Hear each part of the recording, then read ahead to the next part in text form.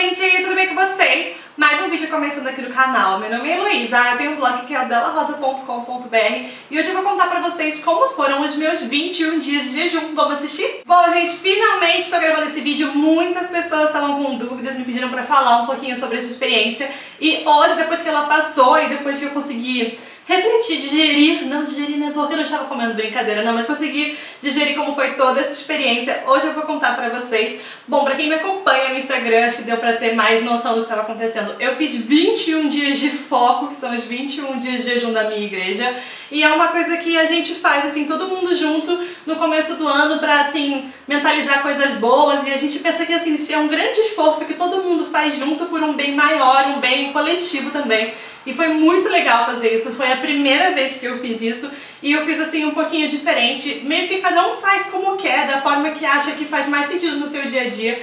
Não todo mundo que consegue fazer um jejum total, porque tem gente que trabalha fora, tem gente que faz muita atividade física, então precisa realmente de carboidratos, de proteína, assim, de 3 em 3 horas certinho, tem gente que tem problemas de saúde, que toma remédio, então não é todo mundo que consegue fazer um jejum total. Então teve algumas pessoas que fizeram, por exemplo, não comiam carne vermelha, não ingeriam nenhum tipo de alimento estimulante, assim como açúcar, cafeína. Tinha gente que fez jejum de internet, assim, várias coisas aconteceram, várias pessoas inventaram sua própria forma de fazer esse jejum junto.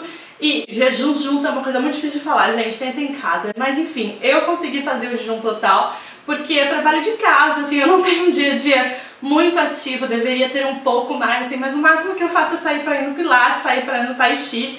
E mesmo assim, não é alguma atividade assim diária minha, não é nada que me super necessita que eu me movimente muito.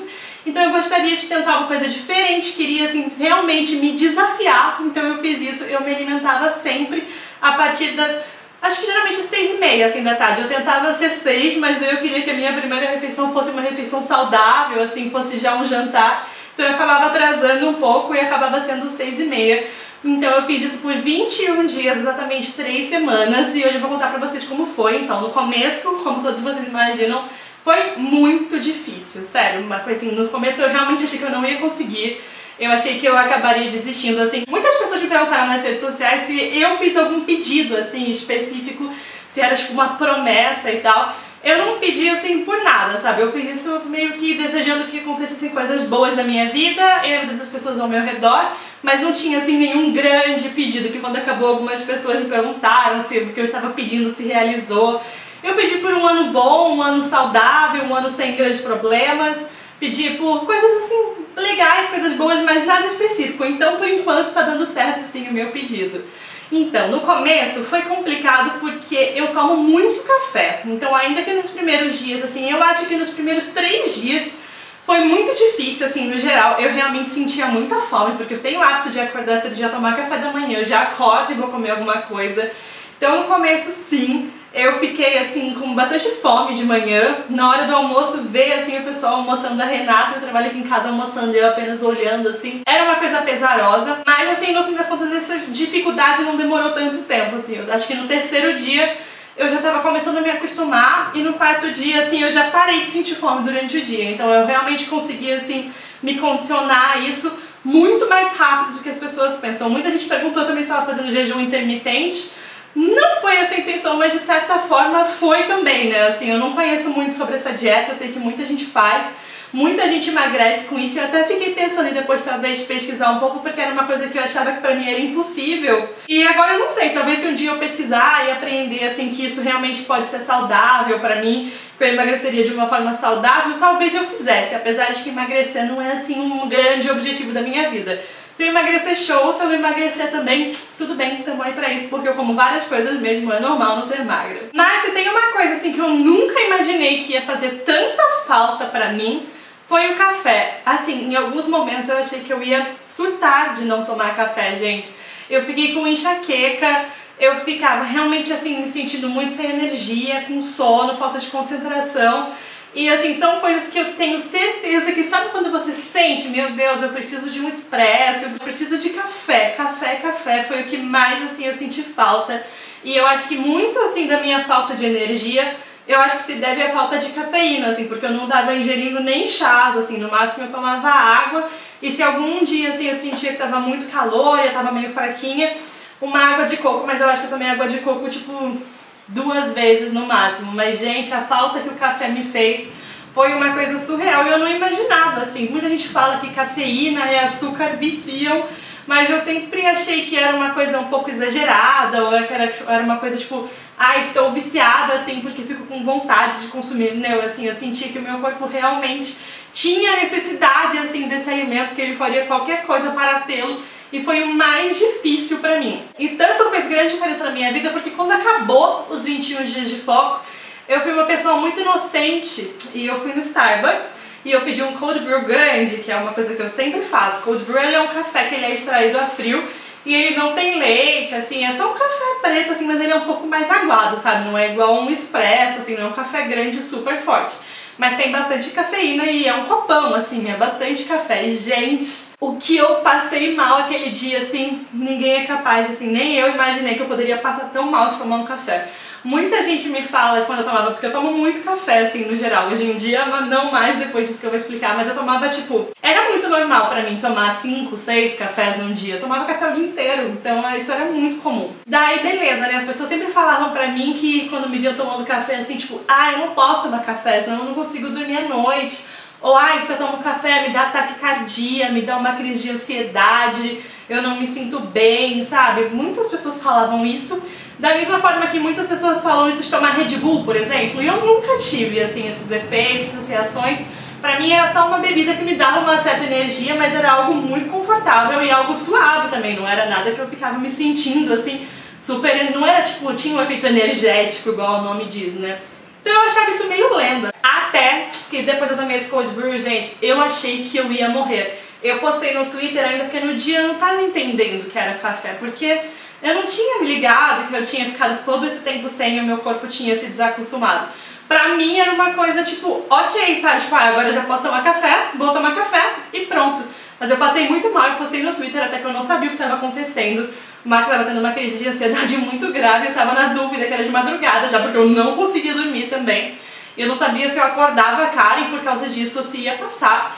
No fim, a Karen acabou acordando sozinha pra ir no banheiro, daí a gente ficou conversando sobre isso, daí ela chegou à conclusão que com certeza era o café, porque quando ela ingeria muita cafeína, já que ela não tem hábito de tomar café, ela se sente exatamente da forma que eu estava me sentindo naquele momento. E daí eu fiquei chocada que eu vi que realmente cafeína vicia. E hoje em dia assim eu prometo que eu vou ter assim um posicionamento sobre isso na minha dieta, no meu dia a dia muito mais responsável, assim, eu nunca mais vou tomar café da forma que eu tomava, na verdade foi até bom eu passar por isso, porque agora eu consegui fazer com que o meu corpo, sei lá, tivesse um detox de cafeína e eu não vou deixar isso acontecer de novo, não vou voltar a ingerir café da forma como eu tomava antes. Hoje em dia em casa eu tô evitando ao máximo, assim, tomar café, Tipo, não estou tomando praticamente, assim, sei lá, não me lembro quando foi a última vez que eu fiz um café em casa e nós trocamos por chás. A Ká também gosta muito de chá.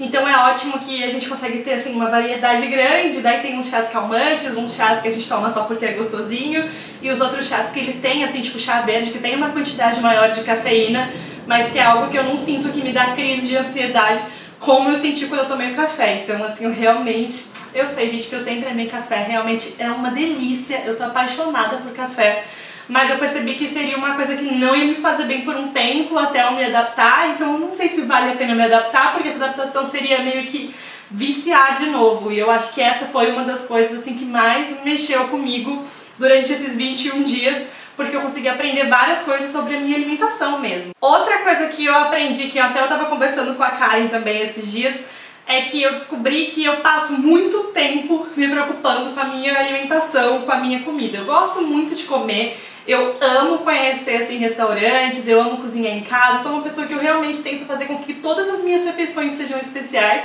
E uma dessa parte meio que eu realmente me esforço tanto para isso que eu consigo. Mas ainda que vocês vejam as fotos, as coisas e pensem, ah, só come coisas ótimas, realmente isso é muito legal.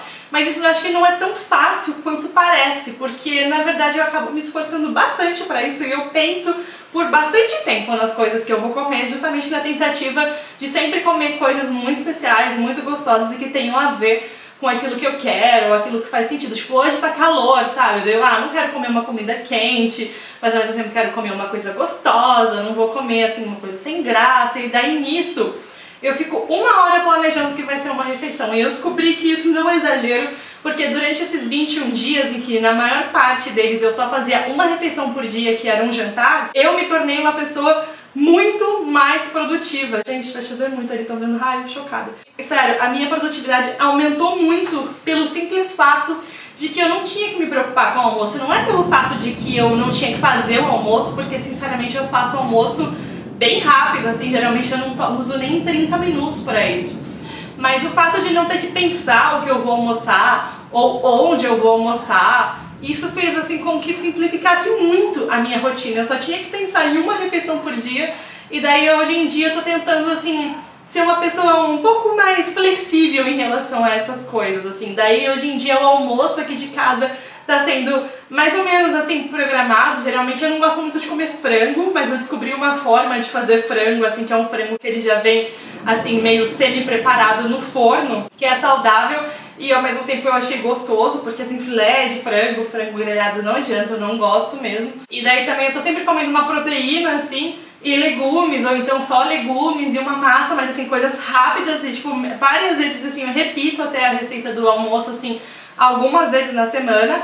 E daí no jantar, tudo bem, eu pensar um pouco mais, porque também é um momento de descanso, é um momento em que eu e a Karen, a gente senta aqui em casa e a gente conversa, que é uma coisinha já mais um comfort food para curtir a noite, ou então que eu saio para comer com a Cal, com outros amigos, enfim. O jantar é uma coisa que eu ainda tô tentando, não tô tentando, né, mas que eu acabo conseguindo fazer uma coisa mais especial.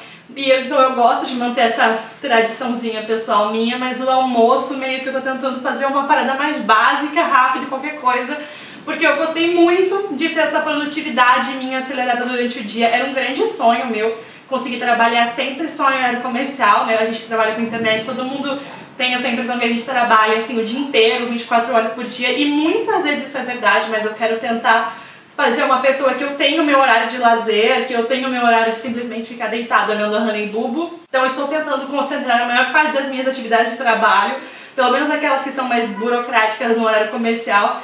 Então se eu não passar duas horas pensando onde eu vou comer, e daí com que roupa eu vou ir comer, ou então onde eu vou ir comprar os ingredientes, isso me acelera muito.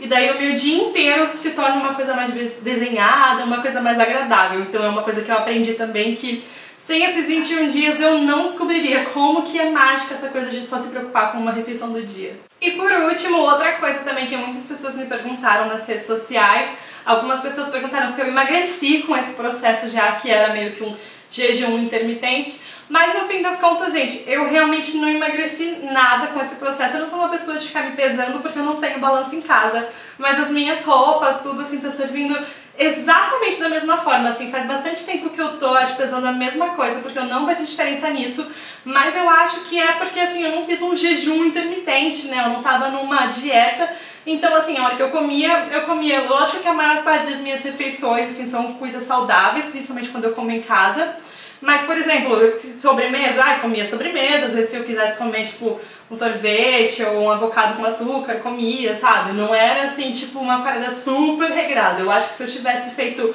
uma dieta, assim, mesmo que quando, igual acho que as pessoas quando fazem jejum intermitente, ah, vou comer, então eu vou comer, tipo, um número certo de calorias, que é só o que eu preciso, talvez eu tivesse emagrecido.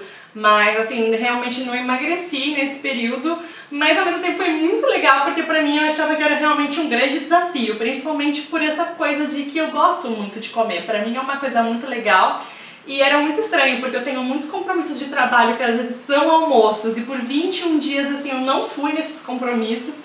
Ou então quando eu ia, eu não almoçava, tomava uma água com gás, bem plena. Mas daí assim, só em casos que tinha assim algum cabimento eu explicar pra pessoa o que eu tô fazendo, né? Porque não tô fazendo, não, que eu estava fazendo na ocasião, que não é uma coisa que eu explicava pra todo mundo, ah não, gente, tô fazendo jejum da igreja, não vou comer assim num almoço imenso. Daí quando era uma coisa mais íntima, eu ia e tomava uma aguinha e no fim das contas isso foi muito ok pra mim. Eu achava que isso ia ser assim um grande sacrifício, que eu não ia conseguir, que ia ser péssimo, que eu desmarcar almoço seria péssimo, que eu furar em almoço por motivos assim tão pessoais e não por questões de não tenho tempo, minha gente está cheia também, achei que ia ser péssimo. E no fim das contas eu vi que tipo nada disso influenciou assim em nenhum aspecto da minha vida, foi muito mais fácil do que eu imaginava.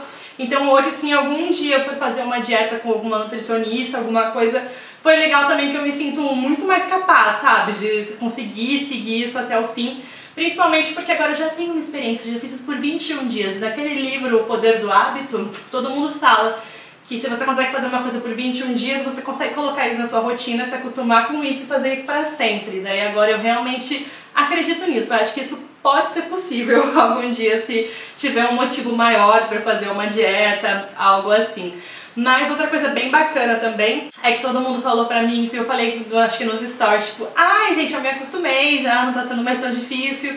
E todo mundo falou, tipo, ah, relaxa, porque quando acabar o jejum, a sua fome durante o dia vai voltar. E sim, gente, para vocês que estavam tristes, que acharam que eu não ia mais comer fora, não ia mais ser gigante de restaurante, essa é a verdade, a minha fome já voltou. Já voltei a almoçar, já voltei a tomar café da manhã, já voltei a sentir fome do nada. Então também o poder do hábito, acho que se eu ficar mais 21 dias comendo, vai ser como nunca mais é aí. Começo do ano tá sempre aí de novo pra gente fazer de novo 21 dias de foco. E bom, esse foi o vídeo de hoje, eu espero que vocês tenham gostado. Se ficou alguma dúvida sobre isso, deixem nos comentários que eu respondo pra vocês.